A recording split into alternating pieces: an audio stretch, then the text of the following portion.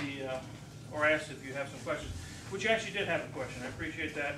I guess the other rule on questions is, uh, you can ask me whatever you want, just like morning, today it was a question about a, a question on a quiz. I said that to one class about ten years ago, and I'd come in each morning and they would have a question for me. They had nothing to do with the previous day's lecture, and it took me two or three, three days to realize they were asking me questions on their homeworks from another course they were taking, okay? So, okay, fine, I don't mind trying to answer. Um, we run out of the, anyway, who didn't get both, one, who doesn't have both set one and two of the notes?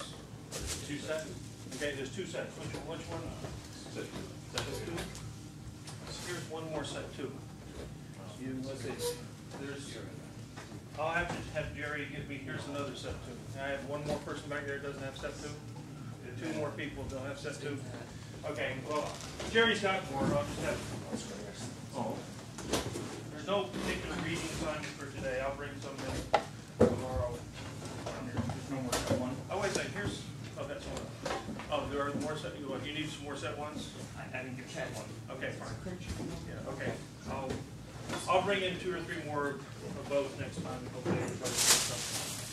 Uh, Also, people, we ran out of this materials research, this is the synopsis of the material selection stuff. At least there weren't any left over, does anybody not have this? Not, okay, we'll get it all straight. Was that one? Uh, Yes, it is the same thing.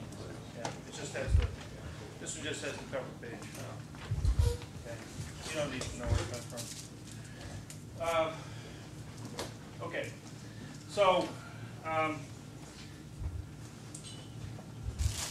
I'll take questions in general, but one, if we, if you didn't have a question, what I was gonna tell you today is about one of the world's first energy crises. Okay? And it turns out that it wasn't the oil embargo of uh, 1973. Uh, It was the fact that in England, around 50, in the 16th century, in the 1500s, they had been, um, they had, they had a, a long-standing use of wood. We're gonna talk a little bit more today about wood and why it's a structural material. But the primary, one of the primary uses of wood was for building ships. And ships were there for national security. Now, another thing for national security was to build cannons to go on this, these ships. And to do that, they needed to make cast iron. To make cast iron, they had been using um, charcoal for years. And as, you know, England was having wars with France and with Spain and others, they needed to build more ships and more, make more cannons. And to make um, cast iron, you need, you need, at that time, you needed charcoal. You get charcoal, everybody know how charcoal is made? You basically stack up a bunch, you go out and fell a bunch of trees, stack it up, cover the whole thing with dirt, and light a fire inside, and just let enough air come in to burn away the lignin out of the wood and leave behind the, the- the carbon as charcoal. Okay? So it's partially burned wood, and you burned off all the volatiles off the wood, and leave behind something that's carbon, which is a cleaner, hotter burning fuel than wood. Wood has got all these volatiles, the volatiles cause it to burn, and it makes a nice flame, okay? Pretty to sit around the fireside, but it's not as good and as hot uh, to, to make cast iron, to reduce the ore.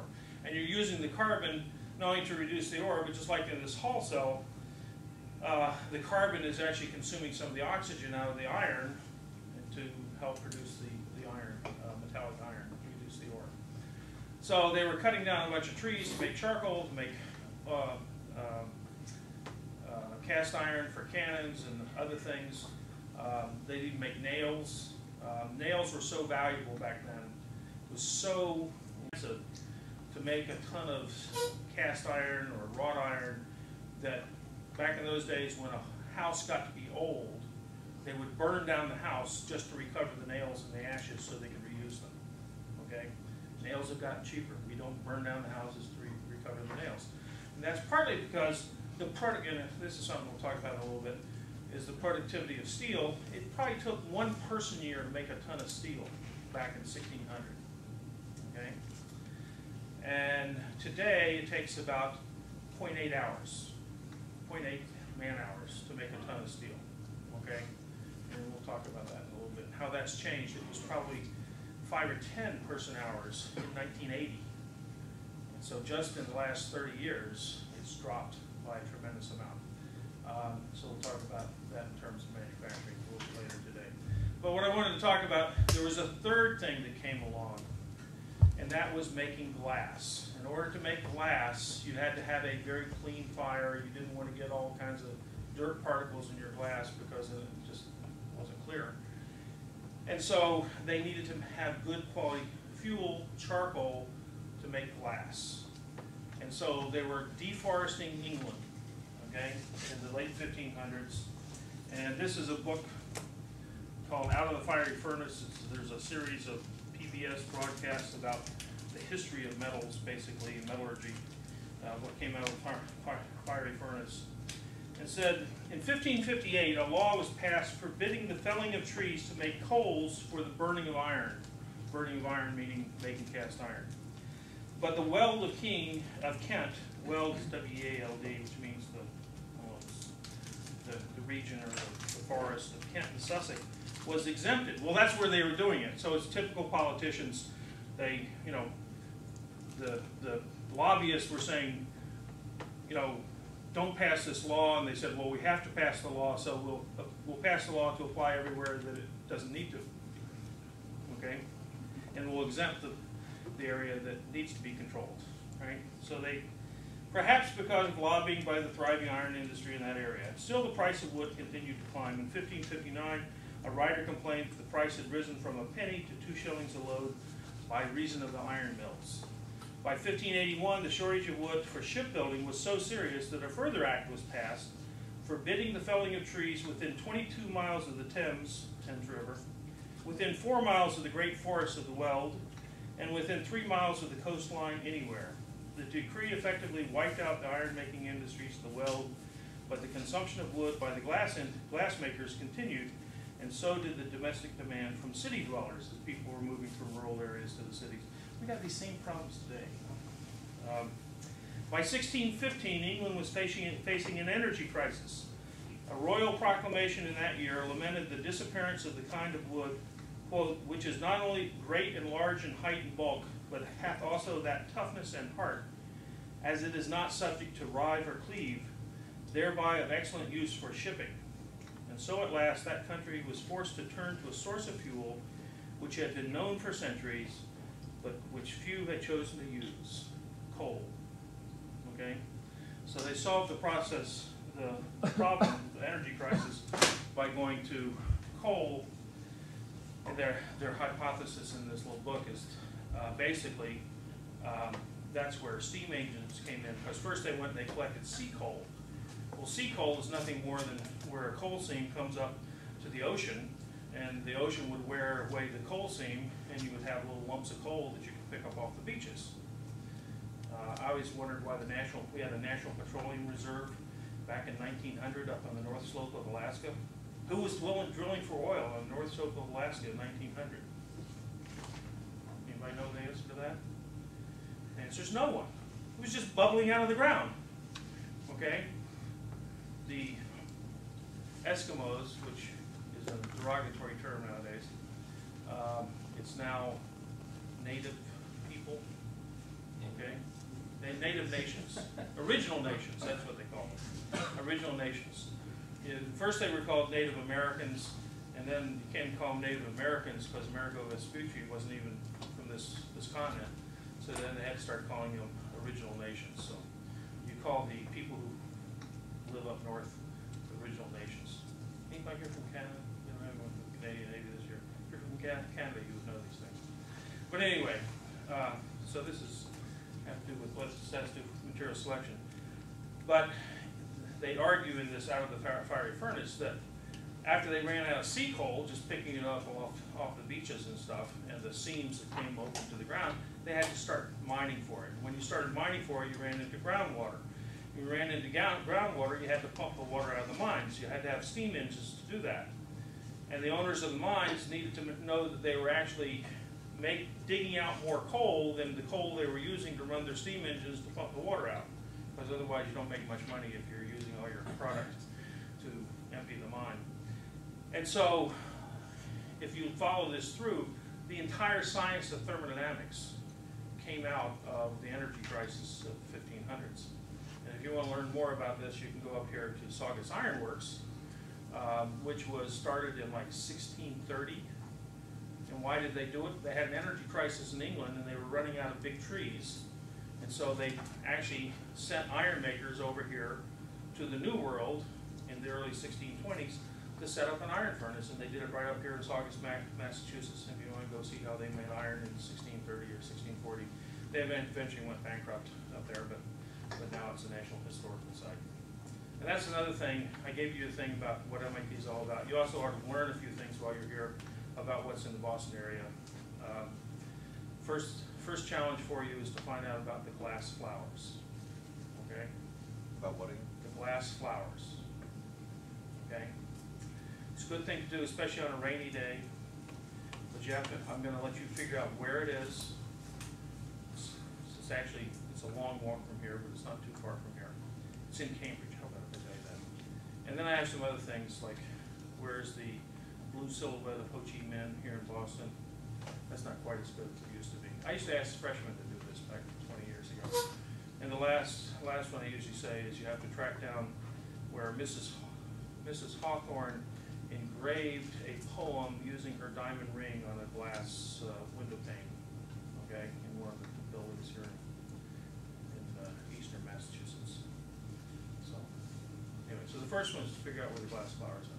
Good good place to take, uh, well, most of you have little kids, but good place if you're married, to take your spouse, okay, go see the glass flowers. It's the most unique thing in Boston, and you won't even find it in most of the guidebooks. Okay, so there. You've been here for a year and you've never heard of it, right? No, but I think I found that Hawthorne thing. Oh, you did? I went up to Lexington Concord last weekend, Yeah. drove right by Hawthorne's house. I didn't see what you were talking It wasn't Hawthorne's house, it was Emerson's house, but the Hawthornes were living there. It's called the Old Manse, right? And it's right, looks out on the root bridge that arches the flood, okay? So where the heard around the world and all that stuff. So, so that's, so we've already got the answer to that. The Old Manse up in Lexington, in Concord, and Mrs. Hawthorne, the Hawthornes, when they first got married, pretty sure it was Hawthornes, and uh, Nathaniel Hawthorne's wife needed a place to live, they rented the old manse from the Emersons, to the Emerson family. They had a child there, and if you go in there and take a little tour, I think they charge you for it now, but it used to be free, but she had her little one or two-year-old daughter looking out at an ice storm, and, uh, the trees were all covered with ice, and so she writes this little poem, she scribes it in there with her diamond ring and the win- window pane, it's still there. And talks about her little daughter looking out on the glass chandeliers, okay, which the trees covered with ice. A little culture for you. So while you're here in Boston, absorption of the culture.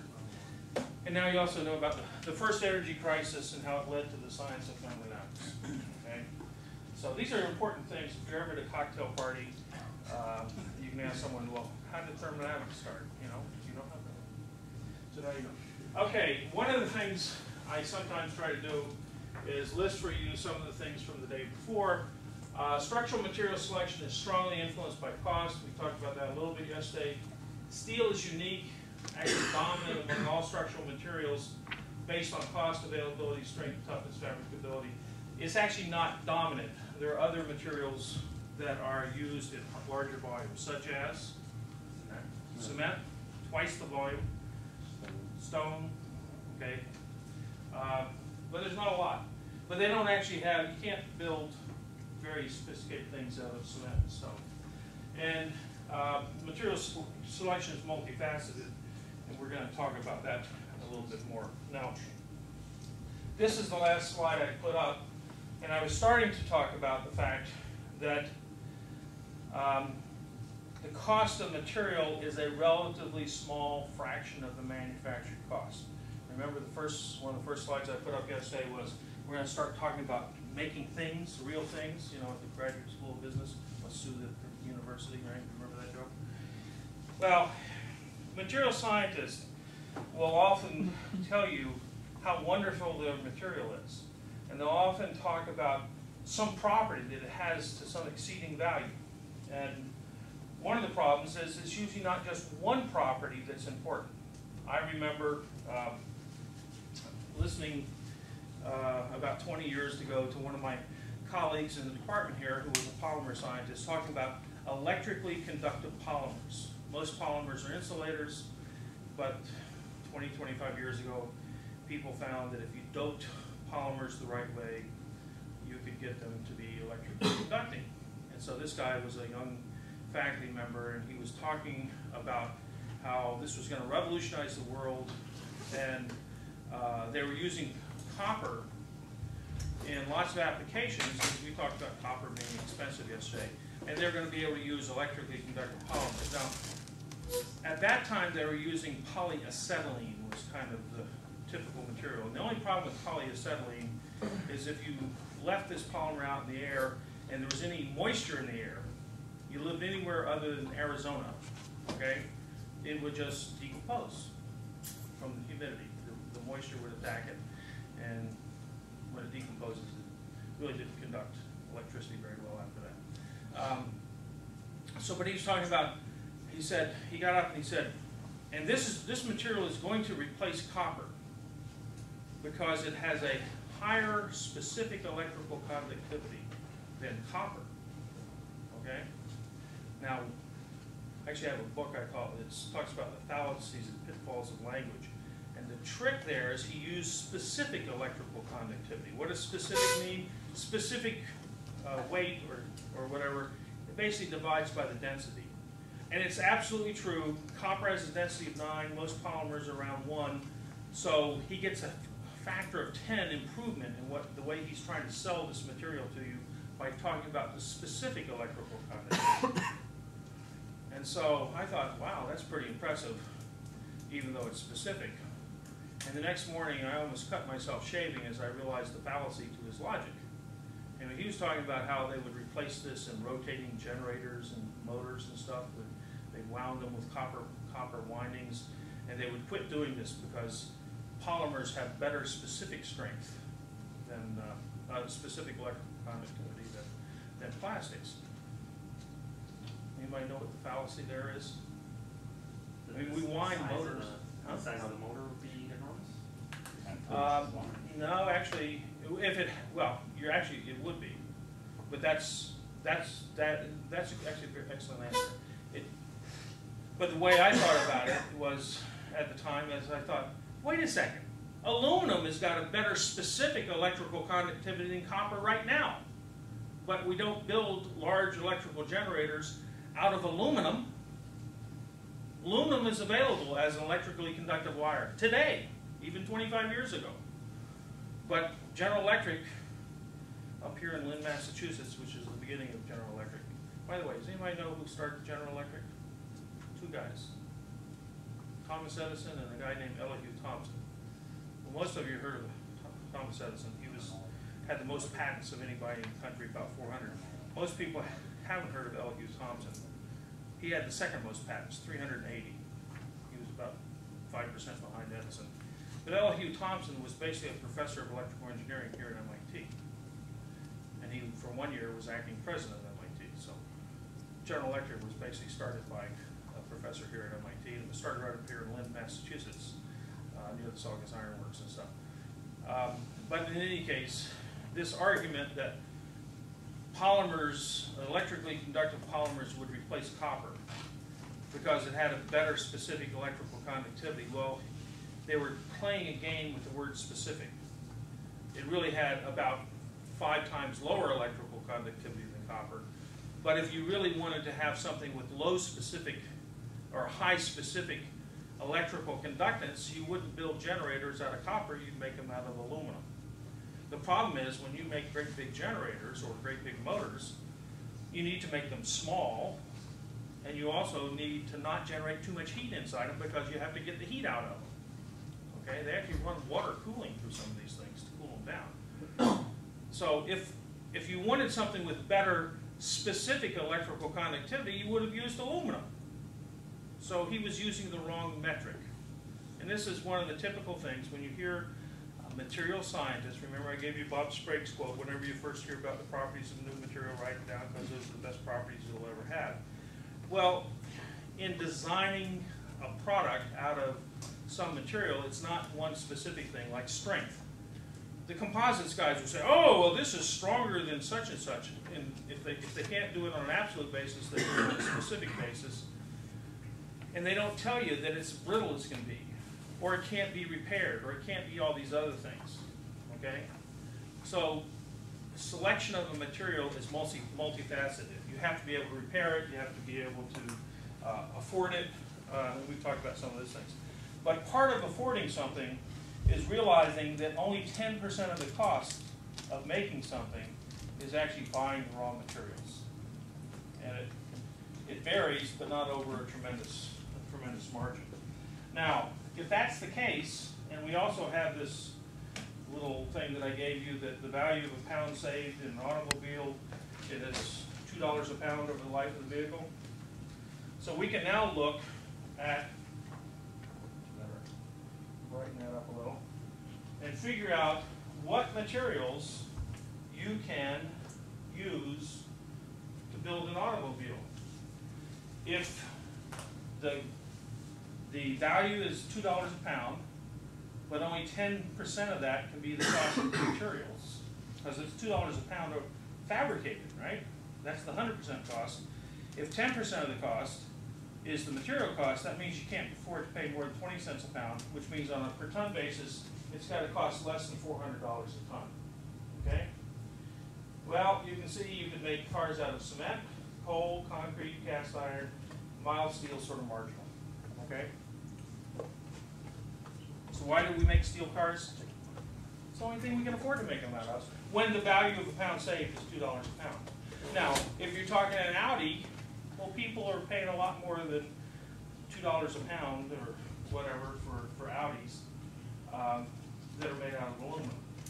Now, if I'm talking about a, uh, an aircraft at two hundred dollars a pound, that's forty cent, that's, uh, uh, two hundred dollars a, pound savings, that's, that means I can pay, what, uh, 20 20 cents, or twenty dollars a pound the material.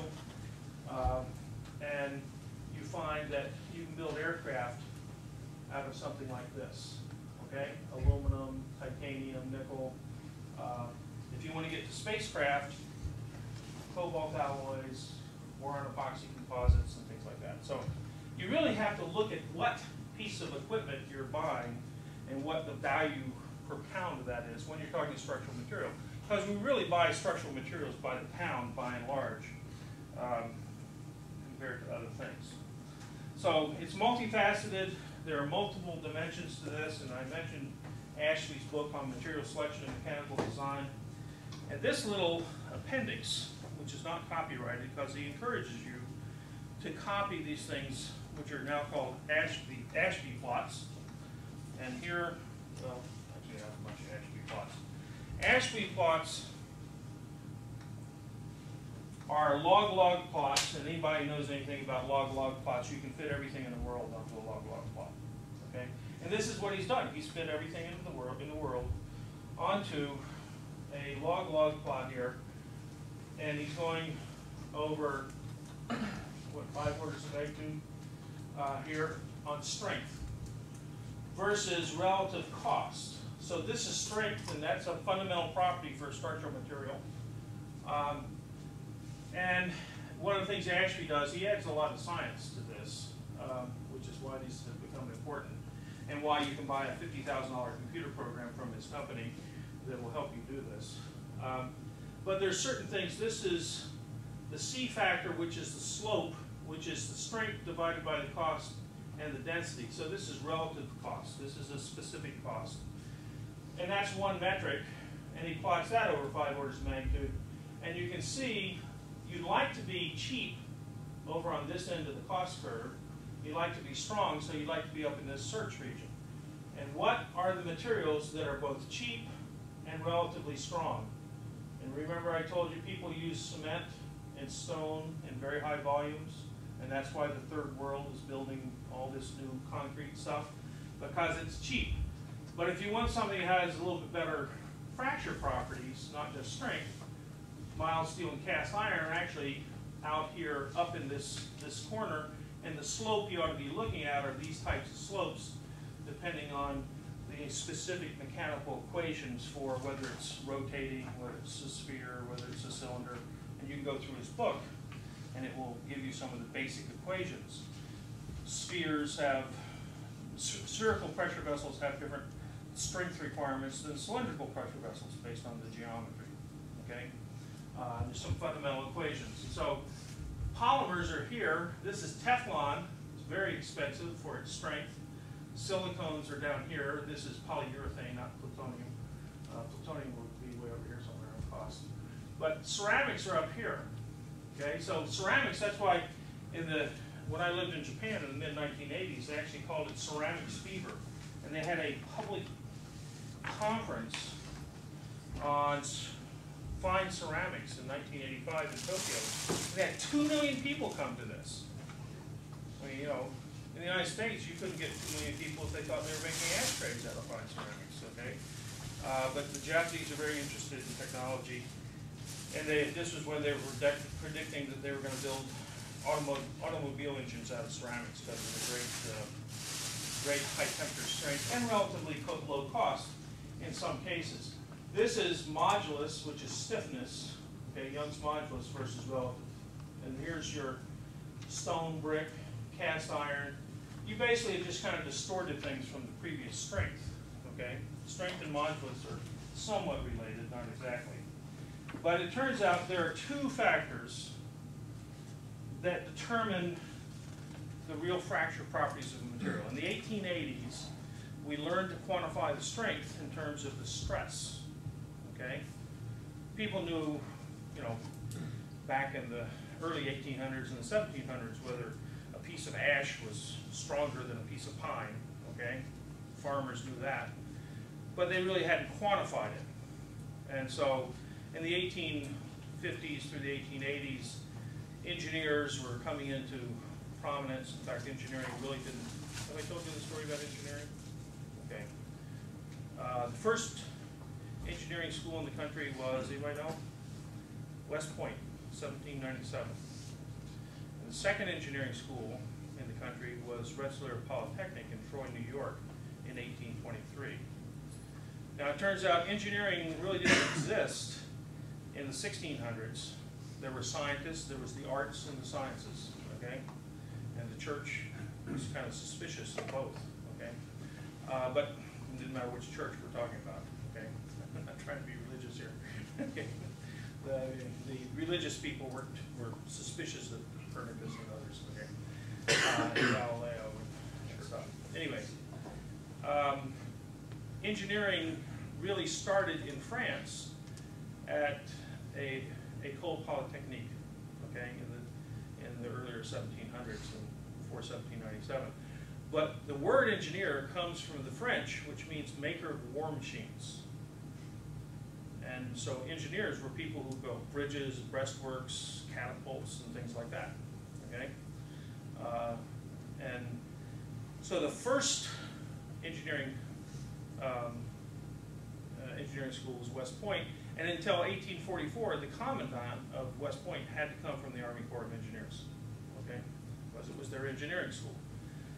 In eighteen twenty-three, RPI opened up, and why would you want an engineering school in New York State in eighteen twenty-three? Yeah, Erie Canal? the Erie Canal, exactly. And so they had one course of study, and they called it civil engineering as to distinguish it from what they did at West Point, which was military engineering. So now you know why we call it civil engineering, to distinguish it from military. Now, University of Michigan and some others started some engineering schools, but they, they weren't very prominent. The next prominent school was a place called MIT in eighteen sixty-one through sixty-five. They didn't start until sixty-five. Um, and MIT, course number one is civil engineering. Course number two is mechanical. And course number three, well, forget that, it's material science, but back in eighteen sixty-five, it was the Department of Mining. okay? Uh, and then it became metallurgy in eighteen eighty-eight, metallurgy and mining. Anyway, um, so that's kind of the uh, history of engineering, but, so we learned about strength there in the eighteen fifties to eighteen eighties. But then, the next big thing, during World War II, we had a number of failures of ships. Uh, Typically, the people talk about the Liberty ships. And it turns out we had, um, we, we actually um, started to increase the amount of welding in the world. Since this is partly a welding course, uh, there should be enough of these. Um, I'll give you a little bit of the history of, of that welding. This article just came out, um, this month in the Welding Journal. Uh, and really, it's only the first two pages here by Omer Blodgett, which talks about welding in the, in the nineteen forties in the United States. Welding really didn't get to come into, I mean, welding's been done for thousands of years. Forgers used to, forger, I'm not talking about forgers who wrote checks, but I'm talking about the forgers who used to make swords and stuff, and plows and stuff. They would weld things together by beating them together in a uh, blacksmith's forge. But welding didn't come into prominence, even though Sir Humphrey Davy invented the elect, or discovered the electric arc in eighteen oh five or so, thereabouts. Uh, it didn't come into prominence until the days of Edison and Westinghouse, when all of a sudden we had a ready source of electricity. Okay, then you could start doing arc welding. So arc welding came in in the eighteen eighties. In World War One, they actually put together something called the Emergency Fleet. They had to build ships to get the boys over there. You couldn't fly them back in those days. And the guy who was in charge of the Emergency Fleet Committee was a professor of electrical engineering up here at Harvard named Comfort Adams. And Comfort Adams was, uh, um, had developed welding power supplies and things like that for arc welding. And he was put in charge of this, and they wanted to weld ships, but kind of the war was over before they really figured out how to do it. But Comfort Adams thought, well, welding is really an important thing, and so in nineteen twenty-one, he formed the American Welding Society. Okay? Welding still wasn't very high quality for things. The first critical structure was built in nineteen thirty-one. They built a gas pipe, or, yeah, a gas pipeline from Louisiana to New Jersey called the Big Inch. It was like a thirty-inch diameter pipeline, gas pipeline, to bring the energy up to the, the marketplace. And it was critical technology, and that's one where, you know, thirty percent of the cost of a pipeline is the steel you make it out of. And you didn't wanna have to rivet that and all the problems you'd have with leaking gas, okay, can you imagine? So they chose to weld it. But welding wasn't, still wasn't very prominent until World War II, and in World War II, it really took off. And actually, one of the reasons I copied this is second paragraph in here. In nineteen thirty-one, the United States produced almost sixteen million pounds of welding electrodes. Last year, nineteen forty-four, we produced over a billion pounds, okay? Um, and then the next paragraph down, it says they were using, they went from using four point eight pounds of welding electrodes in thirty-two for every ton of steel produced to using almost fifty pounds of electrode for every ton of finished steel. Um, so there, are- now I'm gonna tell you something that has to do with how to estimate things and where data comes from, okay? So it turns out, one time about thirty years ago, I was supposed to give a talk at the American Welding Society, and I was curious and wanted to figure out approximately how many welders are in the, in the country. There are about fifty thousand members of the American Welding Society, but certainly most of those people who weld don't subscribe to the Welding Journal. So I tried to estimate it, and I had the data of how many pounds of electrodes, and you can go to the welding handbook and find that typical shielded metal arc, typical guy weighs, lays down about five pounds an hour if he's welding. So I divided all the numbers and I came up with a number like seven hundred fifty thousand. I said, well, they're not all full-time welders. Maybe a half a million are, are full-time welders and the other people just weld part-time, like some farmer or auto mechanic or whatever. So I said, well, there's half a million full-time welders and there's one and a half million part-time welders. Just kind of pull those numbers out of the air, based on the number of pounds of electrodes sold, right? So about twenty years later, it was about ten years ago, they come out with the ninth edition of the welding handbook, and I look in there, and they quote that there are half a million welders in the United States. And this is, the source they give is the Bureau of Labor Statistics, which is part of the US government. And I thought, well, that's interesting, I'd like to find out how they came, they got the same number I did.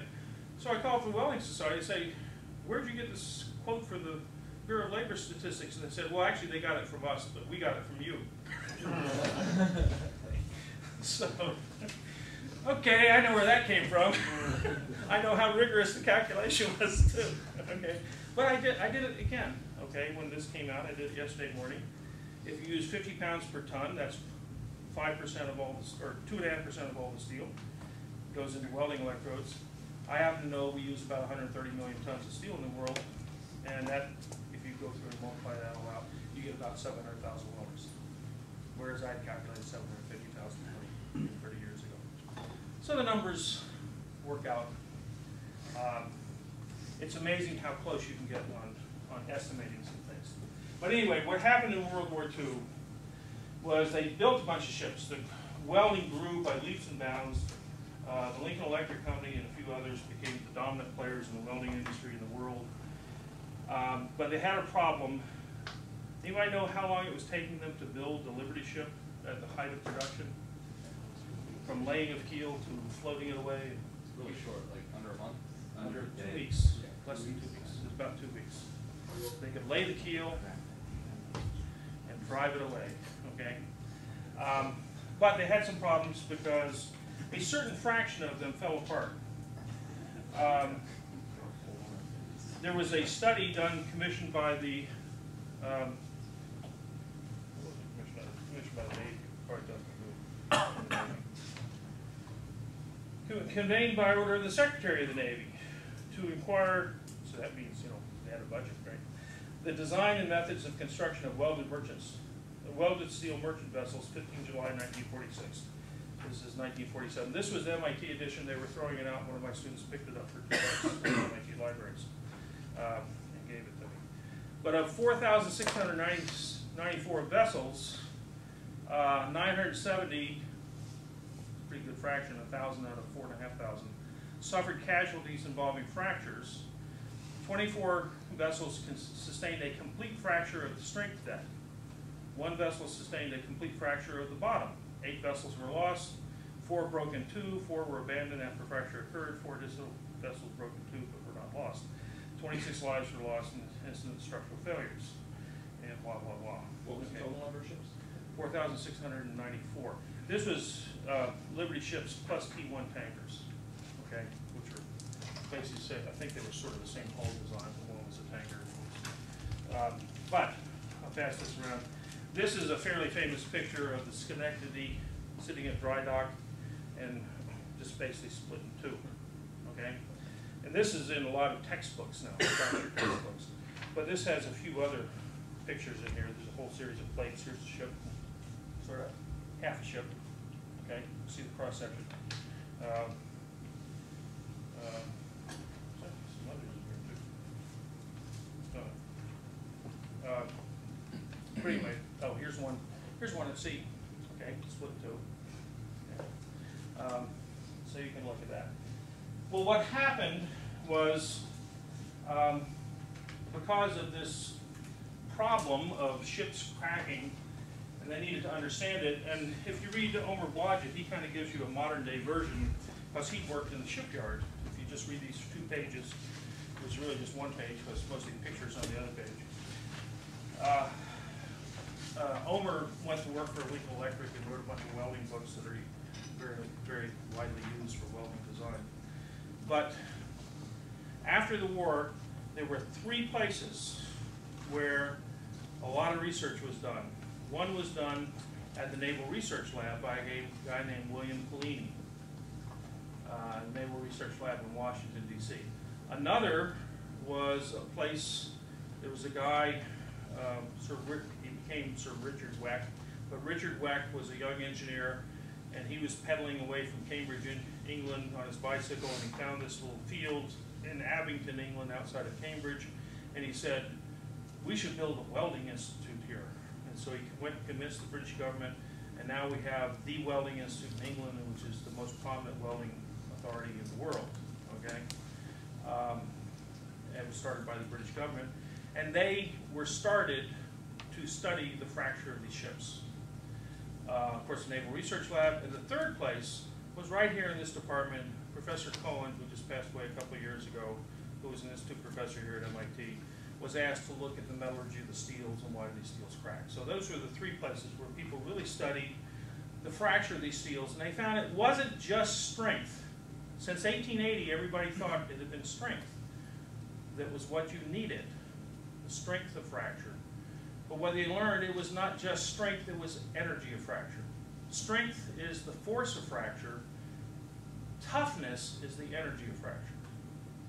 So they started studying toughness, and in that report, they, they found when they took an old test, the Charpy test, which is about um, uh, 500, uh, 105 years old now or so, a French guy named Charpy, C-H-A-R-P-Y, took a little one centimeter square steel bar, 10 centimeters long, put a little two millimeter notch in it, and he would whack it with a calibrated hammer, and he would find out how much energy was absorbed in fracturing the steel. And they found that of the ships that broke completely in two, where the crack started, the steel had less than five foot-pounds of fracture energy.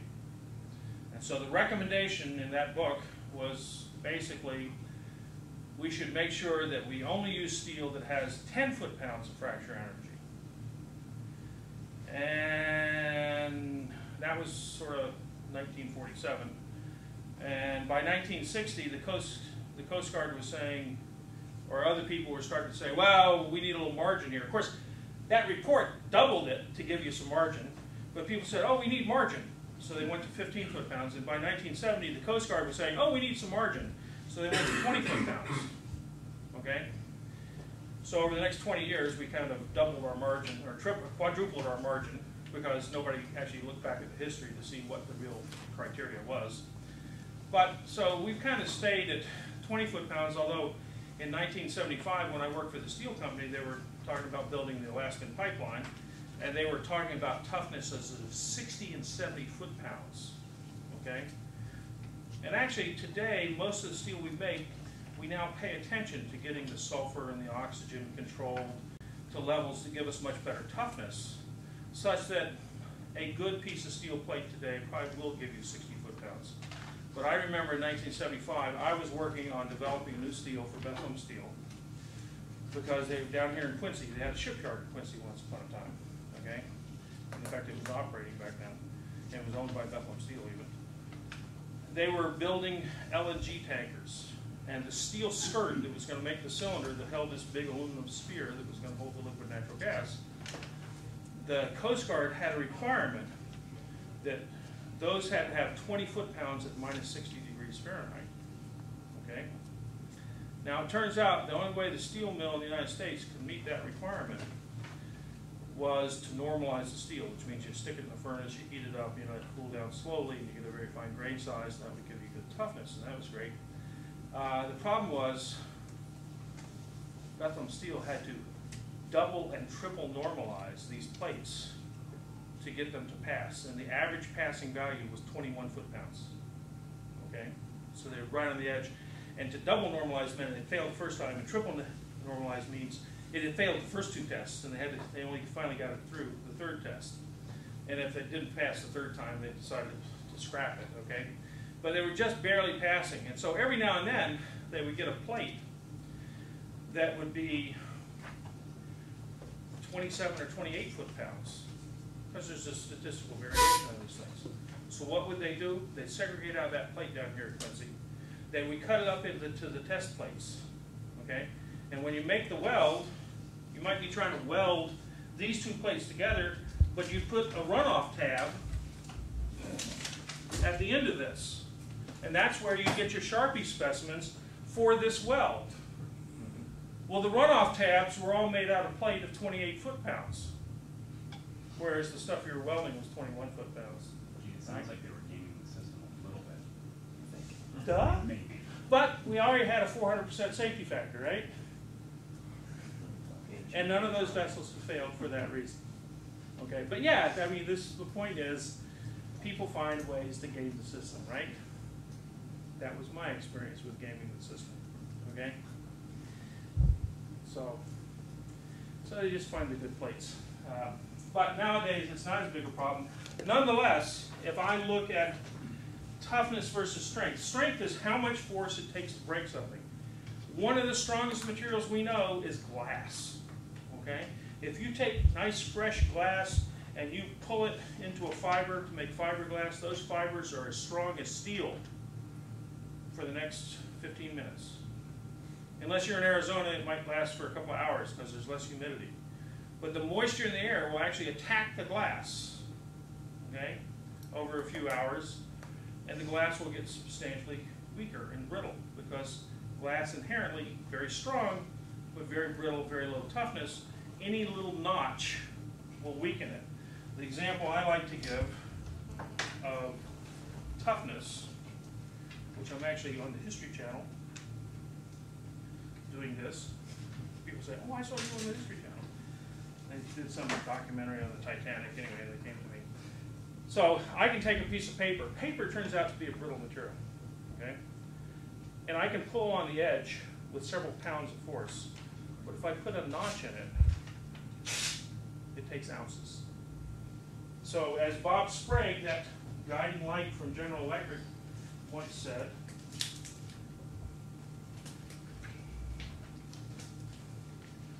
when he was knocking material scientists. Material scientists think that properties are controlled by microstructure. Metallurgists know that properties are controlled by defects.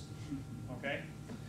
So, um, properties are controlled, structural properties are controlled by notches, flaws, whether they be metallurgical in the structure or whether they actually be a notch. Glass will break where the notch is. Uh, my old thesis advisor used to stop by the Sylvania glass plant. He lived up on the North Shore, and when he would teach freshman chemistry 30 years ago, he would stop by in the morning and get some freshly made light bulbs. And he would take them into 10250 and would throw them across the room, and they would bounce because they didn't have any notches in them yet. But if he did that on a day-old light bulb, it would just shatter when it hit the wall. Glass is very strong, and if it has no defects, it won't fracture very easily. The problem is it doesn't take a very big defect in something as brittle as glass, because glass has very low toughness. Okay? Toughness, something that has a lot of toughness is rubber. Rubber, rubber will stretch and deform, and I told you uh, paper was a brittle material. Proof? A brittle material, when you try to put it back together, mates perfectly. There's no deformation. You break an ashtray or a glass goblet or something, you can glue the whole thing right back together, right? Paper is the same way. There's no deformation of that paper. There might be fibers across there, but it doesn't matter. Macroscopically, there's no deformation. deformation. So one of the first things, you can look on a fracture and see if it deformed before it broke. If it deformed before it broke, no problem. Okay? I had a situation once, uh, some guy was in prison in Florida, but he had worked on a ship out in the Pacific. And this ship was towing some secret object under the water. And some Navy long underwater vessel was following this towed thing. Is this why the guy was in prison? No, he was in prison for drugs, I think. But he was just working on this. This was a contractor. Actually, Johns Hopkins University was the contractor for towing this array, which to be some sort of sonar array or whatever, right? And it, but it's all whatever, whatever they were doing was classified. Okay, but we knew they were towing, and it had a 2,000 foot line. I guess I'm not supposed to say something like that, right?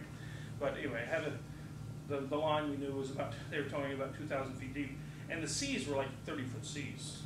Okay, and so um, the uh, so the the ship's up here, and it's got this line going down 2,000 feet to this whole thing is towing, and there's this other little thing over here. Okay. Okay.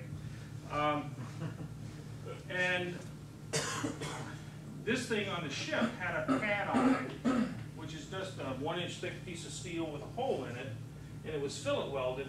And what happened is in the swells of the sea, this thing 2,000 feet deep couldn't respond to the, sw the swell frequency. And so you would stretch this line And I calculated just based on a Young's modulus, how much force you could put on this thing, based on some of the angles that we had and stuff. And you were gonna get a tremendous force up here. But I knew that anyway, because when you looked at the pad eye itself, which was just a piece of flame cut steel, had a flat side that had been welded here, the hole was no longer circular, it was elliptical. And this thing was no longer shaped like it was originally. They bent this one inch thick piece of steel with a one inch hole in it. It was now an elliptical hole. Duh. And so I said, most of the welds had stayed there. We just had kind of a rusty fracture surface here. But this had pulled off and hit this guy in the head and you know, he was disabled and they had to helicopter him off the ship and it was only six months later that he got put in prison for some felony. But he was suing Johns Hopkins and the Navy and everybody else in the world because he wanted to become a rich man in prison. I don't know what you do with a rich man in prison, is to buy more drugs or something, but um, he had an expert from an unknown school in Gainesville, Florida, uh, who said, "Oh, defective welds." I said, "No, it's not a defective weld. The metal bent before the weld broke. If you deform the metal, the base metal, just just a one-inch steel plate, before the weld broke, you can't blame the weld. Okay? No one designs metals to deform under load. Okay? So anyway, that was a story about how you can tell in failure analysis whether something's behaving in a brittle manner or whether the weld's defective. I run into that all the time. People say, oh, the weld broke. Care weld broke. Did the metal bend first? If it did, don't blame the weld. Okay? Start looking for other things. In this case, with 30 foot seas, you couldn't, you, you needed to have a little more slack in that line. You needed some angles and stuff. Okay? They were just running this thing a little, a little too straight in the water. Okay? Um, but anyway, so getting back to toughness, when we look at a material, we learned after And Cohen and Richard Weck that you need to study not only the strength of a material, but the toughness of a material. And here's the uh, Ashby plot for fracture toughness versus strength. And this gets to be, if you're looking for a structural material, this is sort of the fundamental plot. Because this is not only the force of fracture, it's the energy of fracture. Okay? And what you want is to yield before fracture. If you're brittle, you fracture before you yield. And you don't like that because you can't predict brittle fractures very well. And we have polymer foams way down here, low fracture toughness, low strength. Sandia National Lab has developed these aerogels, lightest things in the world. They have like a hundredth the density of water. Okay, they're made of air. And they, they talk about, oh, they may not be very strong, but look at their specific strength. Yeah, well, it turns out if you blow on them, they, they're kind of like firefighting foam, you know, they blow over. Anyway, the specific criteria for fracture is either the toughness, which we call K, divided by the stress, that's the criteria, or K squared divided by the stress, depending on what type of fracture you're talking about. So these are the guidelines, the slopes you'd be interested in for what we call safe design, where you yield before fracturing. And now if I look at this, where are my ceramics? Well, my ceramics are way down here, okay? Their fracture toughness is not very good. And this is strength over here, right? So they're very strong. Remember, ceramics were the strongest materials. But their toughness is lousy. I want to be up in this corner, and up in this corner, here are all my metals. Here are my engineering composites down in here. Composites can match the engineering alloys, but not the best engineering alloys. Here are cast irons. Cast irons are better than ceramics. When the ceramics, when people were so interested in ceramics in the 1980s, I, in the late 1980s, I used to give a talk and I said, I used to talk about the fact that ceramics are not going to take over the of structural materials because they have lousy fracture toughness. And the people who study ceramics don't seem to understand that. For example, the largest use of ceramics, I used to say, was Portland cement. And I throw in the kitchen sink, except you have to line it with cast iron to give it fracture toughness. Okay? Which is in fact true. If you had a pure ceramic sink and you drop the coffee pot in there, you're liable to shatter your sink. But if you make it out of cast iron, it doesn't take the dropping of the, the pot into the sink. If you want to look at your polymers, they're sort of on a similar level, but much lower strength. Okay? But I'm interested in, in something going along here, so anything along this line is equal. Ceramics are way down here. Plastics are as good as metals, just not as strong. Okay? And if I want to look at rocks and things like that, they're, they're worse. Okay? And glasses, here, glasses down here, here's ice. Okay? So there it is. There's the plot in Ashby terms. But before, um, before Ashby, well, let me back up. Um, so that's, and if you look at that, it turns out there are things that are better than steel. The copper, some of the copper alloys, some of the cobalt and nickel alloys are better than steel, but they're a little more pricey. So if I start combining everything, steel comes back as having this unique combination of strength, toughness, and fracture resistance. If we talk about specific strength, steel is slightly worse than aluminum. Aluminum has better strength for density than steel, but not a lot better. Simple composites are really equal to steel. Plastics are about half the strength of steels, and wood can be better than plastics. Wood's not all that different than plastics. Okay? Um, the only problem with wood is we're still running into the same problem they had in, in 1600 in England. A lot of the good trees have been felled. Okay? And not been necessarily. Now, if I, but if I look at uh, high volume structural applications, when we look at cost, steel wins over aluminum five or six times. Composites, well, this is cheap composites. Okay, this is like two dollars a pound is like fiberglass. Okay, uh, ten dollars a pound might be some glass reinforced plastic. Okay, um, plastics are down here. I've got a situation now. Um, they made some some wheels on snowblowers for the tires, but the, the hubs were made out of a glass fiber reinforced plastic.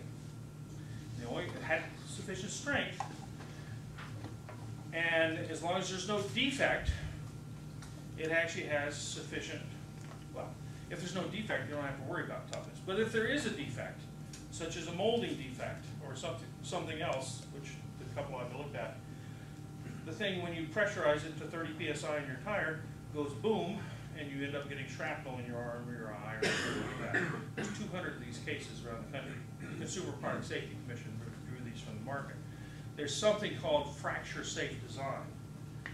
If you made a steel or an aluminum or any kind of metal hub, or even other types of plastic, like a nylon, a glass reinforced nylon composite, Nylon's got much better toughness than the plastic they use. They use polypropylene.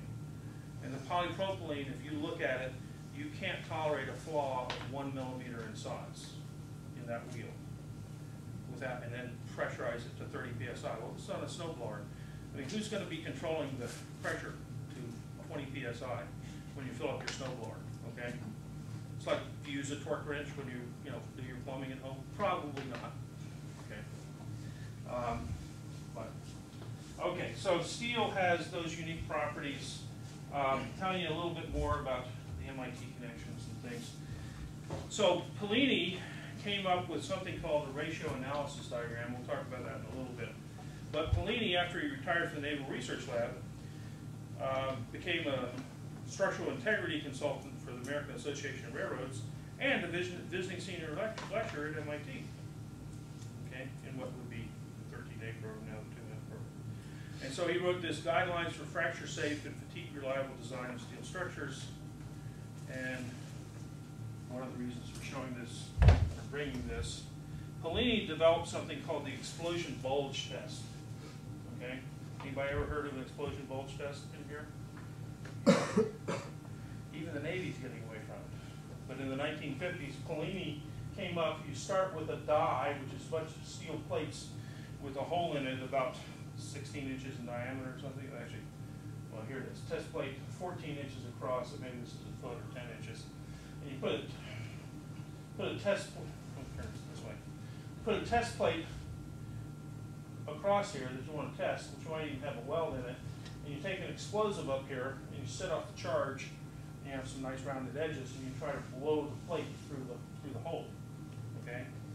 And so it turns out, here are some results of explosion bulge tests. At different temperatures, this is minus five, forty degrees, sixty degrees, eight, twenty, twenty, forty, sixty, eighty, um, what's that? Fahrenheit, or, so twenty-five degrees C, 80 80 Fahrenheit, you get up here to hundred and sixty Fahrenheit, and you get nice ductile behavior, you'll start a crack, but the crack won't grow very far before, before, uh, you have a problem. Whereas at lower temperatures, the plate just shatters and it's somewhat problematic. And so, this is the way that the Navy developed in the nineteen fifties to qualify submarine steels and other things, all kinds of steels, was to do explosion bulge test. Not a very cheap test, which is one of the reasons the Navy gets, away from it. But you will still have codes that will require, if you're gonna have undex and things like that, you're gonna have to have some codes and you probably have to do a couple of explosion bulge tests, okay, on these things. Uh, but usually in the later stages of the design, they've sort of tried to develop things away from that, it's too expensive to test. But, so Pellini wrote this book while he was here at MIT, and I think he passed away a year or two, a couple of years ago. But he basically, uh, uh, uh, was kind of the, the leading guy for developing relationships for materials. And he came up with these diagrams called ratio analysis diagrams. Okay? So this was sort of a Naval Research Lab development because of the Liberty ships, and it's used in pipeline industries and everything else. um, Turn that down a little bit. You should have in your notes some of these plots. This is for steel. I'm gonna show it to you for aluminum and titanium.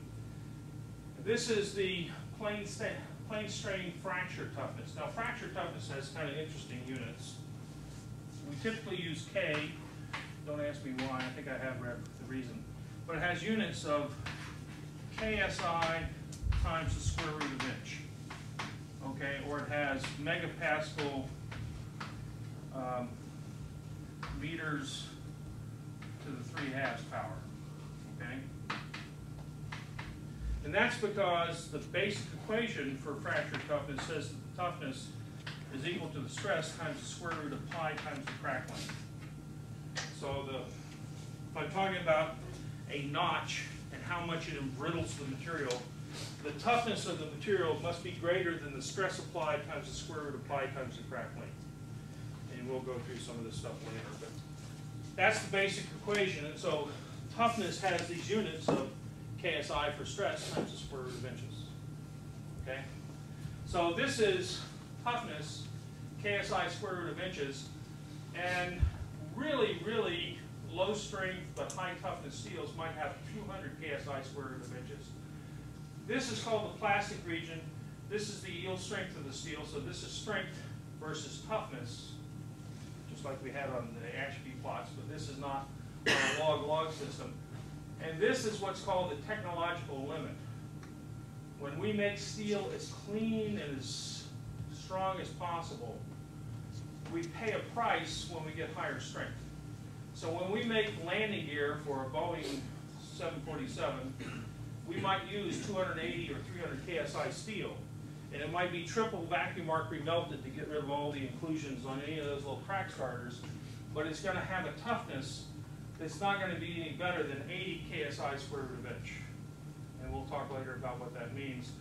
But um, this is what they call the high quality corridor, the intermediate corridor, and the low, low quality corridor, corridor.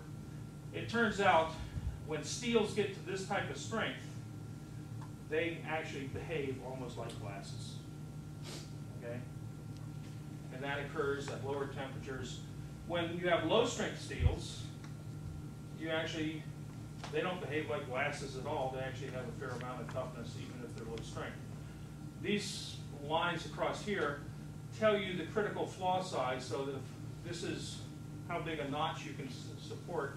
If your stress is equal to the yield stress, let's see, I'm sorry. If it's equal to the yield stress, that's this number. If it's half the yield stress, it's this number. Uh, so down here, this is ten, a ten mil flaw. Three human hairs will cause a, the best material we know, um, to, uh, well, actually, for an aircraft landing gear, about, about twenty mils, half a millimeter flaw in a landing gear would cause the thing to fail. Um, So the flaw size is very critical. Uh, For, if you're in the submarine business, you're talking about HY one hundred is right in here. But in fact, you have to kind of talk about it here. When people talk about HY one thirty, we're in here, but now we have to have very good steelmaking practices and things like that. We're starting to fall off that cliff. There was once a time the Navy was trying to develop HY two hundred. They actually did make some small structures out of HY one eighty, okay? But really, they found that the tough, they just can't get the toughness in steels that they need for the type of fracture resistance they want. If I put up similar plots for aluminum or titanium, this is aluminum. Now, if I compare it, the toughness of the steels is ten thousand in what they call these dynamic tear. The aluminum is five times less, even the best quality aluminum. Prompted the head research at uh, US Steel a number of years ago to call aluminum the near metal. Okay, he was a steel guy, but he called aluminum the near metal. But the strengths are not going up to 300 KSI in the aluminum alloys. When you get above 40 KSI, you start falling off. Whereas steels, you got two and a half times the strength and five times the toughness. This is way down compared to the other plot. Titanium alloys, a little better than aluminum, and they got better strength, but above 100 or 120. And so if you want to know why the Navy was looking at 100 KSI titanium alloy for their submarines back in the 1980s, TI 100, you just look at these plots. Okay? It's what you can get in these alloys. Okay? Now, I could do better in a cobalt alloy or nickel alloy, I just couldn't afford it. Okay? Um, and so I once, it's the only time I know I've ever seen anyone bother to try to plot ratio analysis diagrams of various materials on the same plot. But I once published this. Here's the steel curve, here's the titanium curve, here's the aluminum curve, here's composites, and there's polymers. And you want to be up here. It's okay to be in this region, you don't want to be in this region. This is the brittle fracture region. And so if you go to very high strengths, even steels have problems, but they're still better than titanium or aluminum. Composites, yeah, some of the best composites can sort of equal medium duty steels. But composites don't ever get over here to the best quality steel or aluminum. Titanium doesn't quite make it. And plastics, some of the plastics can be just as good as the steel. Kevlar is great, okay? But if I take some of the other plastics, they're brittle like glass. So when you talk material selection, you actually have to know something about the plastics you're using. But if we want to, you know, if I'm going to be singing the praises of steel, you can see that it's just inherent. It, its properties of steel on a cost basis far exceed, it's make it dominant among, among everything else. So, turns out other people knew this even before we did these studies. Rudyard Kipling said, gold is for the mistress, silver for the maid, copper for the craftsman, cunning at his trade. Good, said the baron sitting in his hall, but iron, cold all, iron, master of them all. So it's not as if people didn't know this, it's that people didn't pay any attention to this. And billions of dollars of research have been wasted because material scientists will say, oh, I have this composite material that will, is five times stronger than something else on a specific strength basis, or whatever, okay? They start using modifiers. And if you're not careful, listening for those modifiers and understanding what those modifiers mean, you're gonna end up building a generator out of electrically conductive polymer, and it will be five times the size, blah, blah, blah. Now, there are other things, getting back to the generator, there are some materials, like superconductors, Jim Kirtley down here in the basement of Building Ten, in electrical engineering. is kind of the world's expert on designing superconducting generators. He built one over here across the street a few years ago, and a superconducting generator will be one-tenth the size of some other generator, and that's why the Navy likes to think about building those things for ships, ship drives, you know, a motor, motor generator, basically, a superconducting. High response time, starts up quickly, right? Uh, uh, So there are things that are better than copper for that application, but it comes at a cost, okay? You have to cool it with the cube and whatnot. Uh, Okay, any questions? No one else? I'm not sure I want to start a new topic right now, so maybe I'll just let you go five minutes early since I took five minutes late last time. The, the, my official time for this class is basically seven thirty to eight fifty, because some people do have to get across the way to the nine o'clock classes, right, for ESD. So I'll be here tomorrow, I won't be here Friday. I still don't know what's happening Monday, but they tell me on Thursday I'll find out.